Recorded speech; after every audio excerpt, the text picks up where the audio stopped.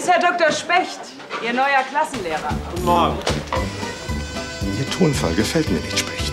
Und mir gefällt nicht, dass Sie ständig an Ihrer Fassade putzen, während sich dahinter die Leichen stapeln.